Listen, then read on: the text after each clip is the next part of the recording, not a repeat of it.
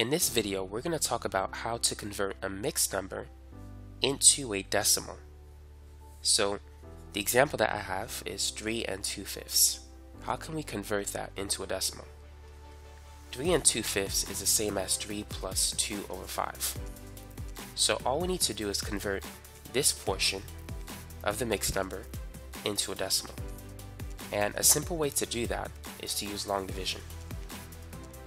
So 2 over 5 can be expressed this way. Now how many times does 5 go into 2? 5 goes into 2 0 times. So we need to add a decimal point. And let's add a 0. Now how many times does 5 go into 20? 5 goes into 24 times. So 5 go into 2 0.4 times. 5 times 0.4 is 2. So if we subtract 2 minus 2, we get 0. So this means that 2 over 5 is equal to what we see here, and that is 0.4. So this is 3 plus 0.4, which is 3.4. And so that's how you can convert a mixed number into a decimal.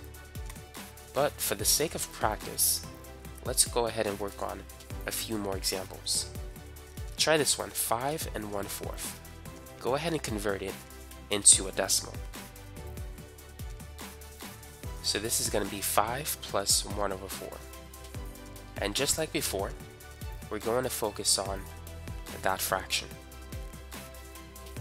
So let's use long division. 4 goes into 1 0 times, so we need to add a decimal. Now how many times does 4 go into 10?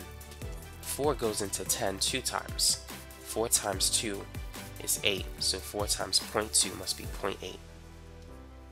1 minus 0.8 is 0.2, so we're going to add a 0 and treat 0.20 as if it's 20. 4 goes into 20 5 times, and so we're going to get a 0 now. So we could say that 1 over 4 is equal to 0.25. So 5 plus 1 fourth is 5 plus 0.25, which is 5.25. And so that is the value of this mixed number. 5 and 1 fourth is equal to 5.25. Now let's move on to our third example. 9 and 7 eighths. Feel free to pause the video if you want to try this problem. So this is going to be 9 plus 7 over 8 and we need to focus on converting this fraction into a decimal. So 8 goes into 7 0 times.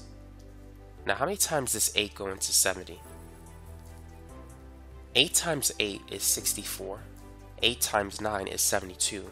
And 72 exceeds 70, so we could say 8 goes into 70 8 times. 8 times 8 is 64, so 8 times 0.8 is 6.4. 7 minus 6.4 is 0.6. And so let's bring down to 0. Now how many times does 8 go into 60? 8 goes into 60 7 times. 8 times 7 is 56. 60 minus 56 is 4. So if we add a 0 and get 40, 8 goes into 40 5 times. And so at this point, we're going to get a remainder of 0.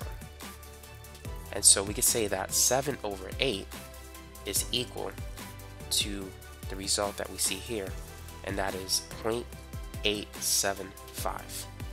So this is 9 plus 0.875, and so that's 9.875. Thus, that is the value of this mixed number. 9 and 7 eighths is 9.875. Let's work on one more example, 4 and 1 third. Pause the video and work on it. So this is going to be 4 plus 1 third. So let's convert 1 over 3 into a decimal. 3 goes into 1 0 times. 3 goes into 10 3 times. 3 times 3 is 9, so 3 times 0.3 is 0.9.